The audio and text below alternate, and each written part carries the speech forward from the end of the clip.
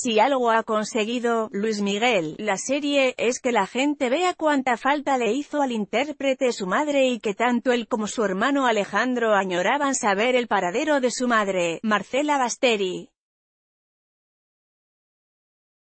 Y los fans, ni tardos ni perezosos organizaron a través de Facebook una marcha hasta Italia con el objetivo de buscar a la mamá del cantante.